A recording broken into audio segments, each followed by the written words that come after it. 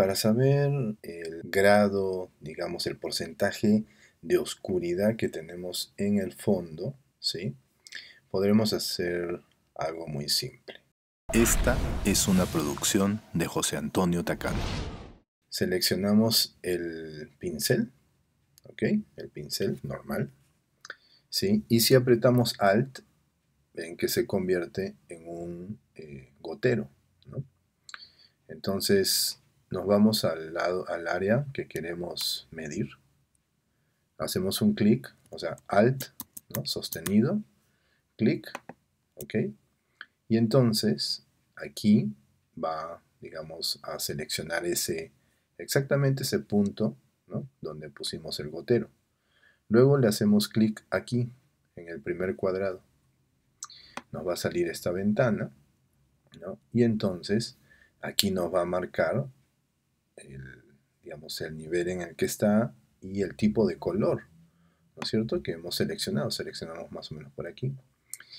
Eh, lo que tenemos que fijarnos es el black, o sea, este es hue, el tono, ¿no? Si yo lo cambio, por ejemplo, aquí, le voy a poner 60, ven que cambió aquí, ¿no?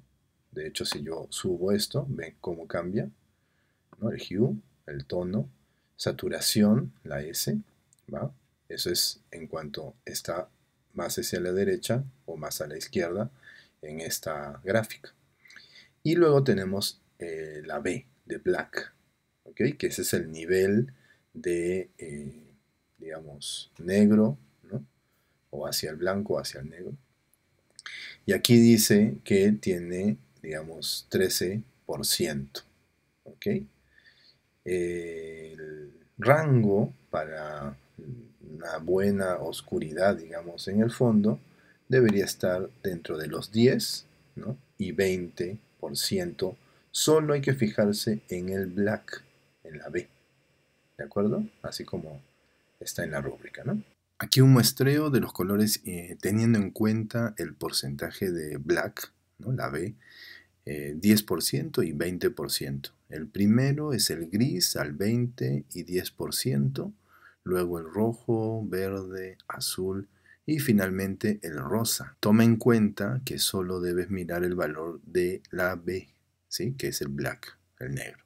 Ok, entonces solamente nos fijamos en la B. Voy a, hacer, voy a cancelar, voy a hacer otra prueba, voy a hacerlo aquí. Alt, recuerda, estás en el pincel, Alt y un clic. Inmediatamente le pico aquí y entonces ahora me sale que esa área tiene 8 de black. Cancelo, voy a irme aquí por ejemplo, me voy acá y este me marca 13 de black. Entonces el rango diría yo que estaría dentro de los 10 y 20% de black. Aquí, por ejemplo. Y aquí estoy muy oscuro todavía. Entonces de esa manera podríamos nosotros verificar qué tan oscuro ¿sí? o qué tan claro está. ¿no? De una forma medible y realmente objetiva. Y por ejemplo en esta fotografía también puedo hacer lo mismo. Voy a seleccionar una capa, la que sea, no importa. Estoy en pincel, Alt, me voy acá, le hago clic en el color y me marca 7% me voy por aquí,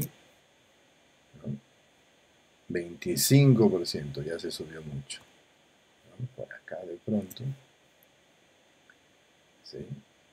y aquí estoy en 11%, ¿no? entonces más o menos esta es la oscuridad que deberíamos tener también en esta parte y esta en todo caso aclarar. Bueno, si necesitas ayuda, yo te ayudo. Nos vemos en el siguiente video. Adiós.